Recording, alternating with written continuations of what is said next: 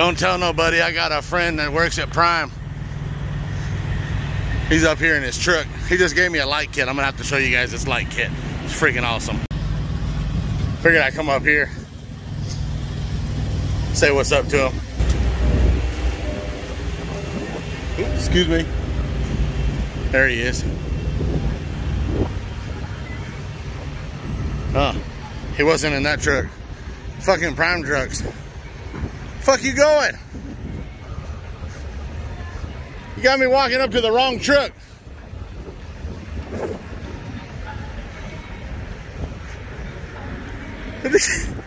Dude, I walked up to the fucking blue truck. and you were a different color. so I was like, yeah, dude, opened up the door and I was like, no, that's not David. I didn't even think about because with me being colorblind, I don't think about the color of a truck. Yeah. So I'm like, oh, he's in the blue truck, and then you get you. No, it wasn't you. no. I bet he flipped the fuck out. oh, here. Say hi, Joe. Hi. Hi, Joe. Mm. Fucker. But no, he gave me a, a freaking light kit, an LED light kit. I'm gonna have to show you guys that. And uh, yeah, and so, but we're gonna sit here and wrap for a little bit, and uh, I'll see you guys after a little bit. All right, now that David's gone, I want to show you the light kit that he gave me for Little Goth. Kind of unbelievable. I mean, I didn't know that they had this kind of stuff out there. I know there's a whole lot of new stuff out there, but this thing can wicked. So it's called XK Glow Advanced App Controlled LED Lighting, XK Chrome Series. If you guys know anything about these, pluses, minuses, you know, whatever might be good or bad about this, just let me know. But there's an app, you can pick any color spectrum, you can change the waves, it can trace and uh, and and channel down the side of your vehicle. Let's see, what do we got here? It, it's plug and play, waterproof, uh, low profile. It doesn't even stick up hardly even a quarter inch. Uh, multi-zone control, so you can do two different zones to do, do different patterns. Uh, music uh, sync, so it'll go with the beat of your vehicle, and 16 million colors. I'm freaking halfway colorblind. I'm not gonna see fucking that many colors. So let's let's go ahead and uh it was already open because he had played with it. He had bought it for his big rig, but he's decided that he's not going to use it for his big rig. So he decided that he wanted to help me out and uh, give it to me.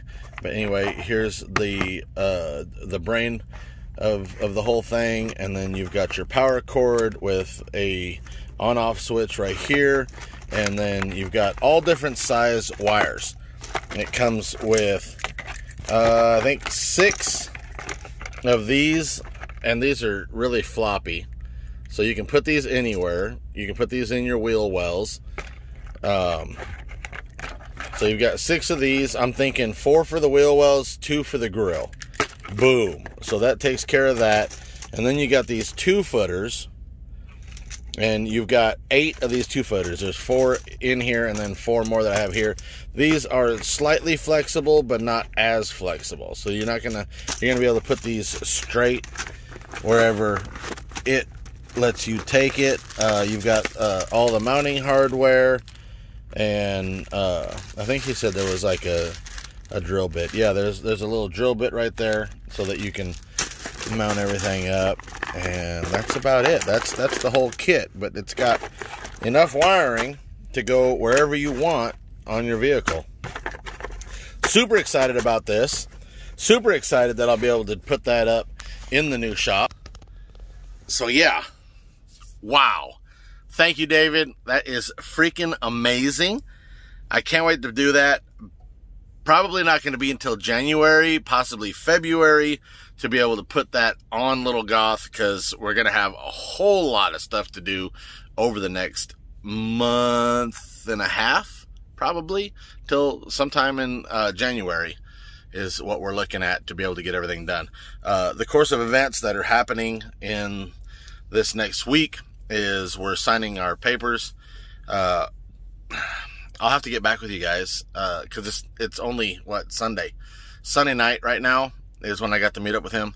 Uh, Monday, Tuesday, and then Wednesday night is when this video is going to go up. So let's see what happens by Wednesday, and I'll get back to you guys here in just a minute. Actually,